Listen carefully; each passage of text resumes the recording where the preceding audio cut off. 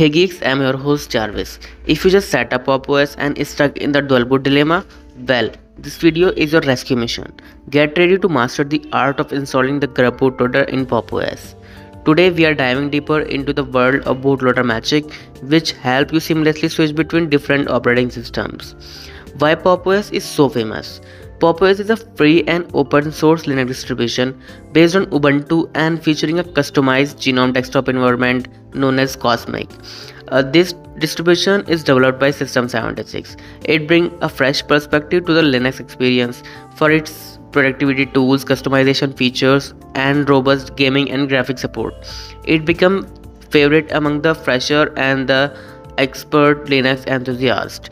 So enough for intro, let's wait no time, let's dive into the bootloader adventure. So I have just installed Pop OS and now it is asking me to restart the system. But before I do that, let me see you if bootloader is already installed in my system or not. So I'm uh, perform a quick system restart and guide you through the process.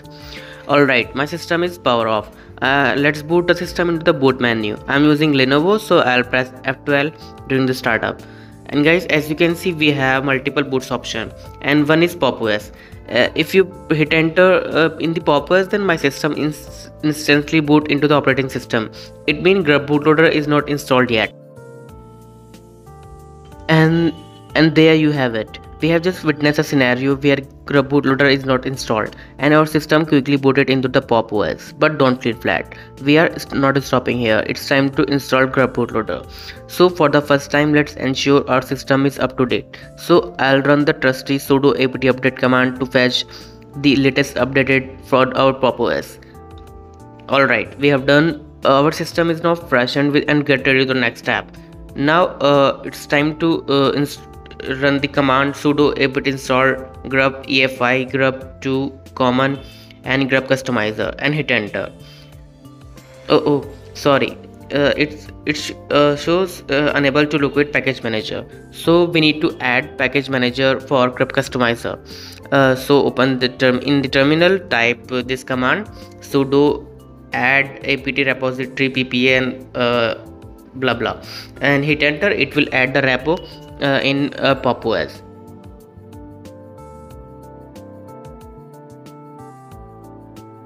Now uh, Prepo is now added. Uh, let's just quick sudo update. Wonderful. Uh, we are all set. Now let's give uh, that grub bootloader installation uh, another slot. Uh, so hit enter and run this command again. And now as you can see there is no uh, error or something. So it will install grubboot customizer in my system. So yes uh, here we go. Grub customizer is now making the way into the system. Uh, you can now it's time to install sudo grub hyphen install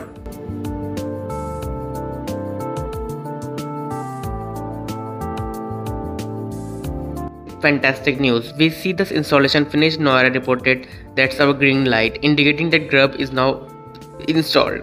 Now uh, it's time to copy uh, the boot configuration file uh, using this quick command sudo cp hyphen boot grub uh, x86 and blah blah. Configuration file copied easy peasy. Now let's get the bootloader uh, up and running. So you can close the terminal and open grub customizer tool. So let me open it.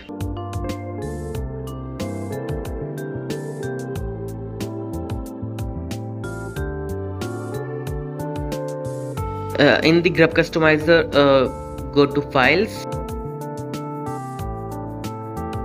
Go to files and click on change environment and here in the output file type slash boot slash efi slash efi pop grub x64.efi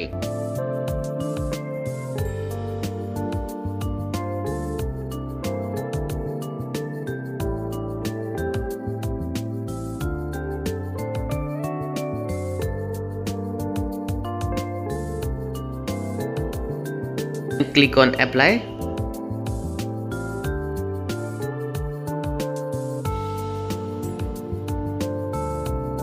and now click on save.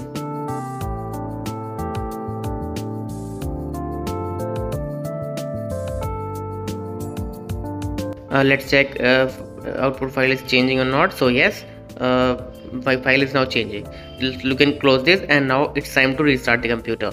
Uh, to check uh, bootloader is installed or not. So i'm gonna restart my computer.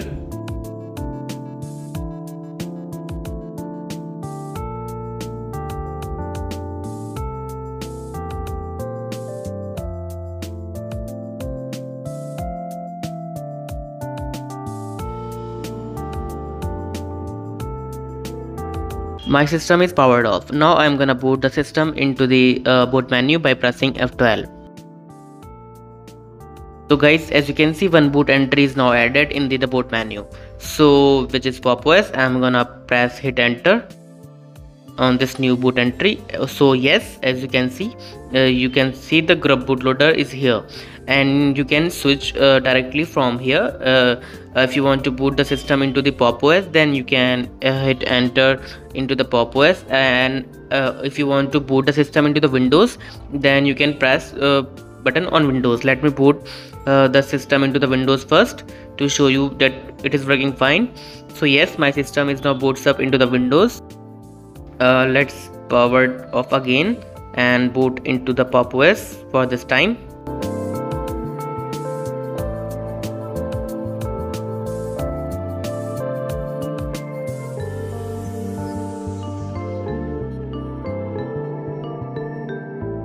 So guys as you can see my system is directly boots up into the mm, grub bootloader menu. Now i'm gonna boot the system into the pop os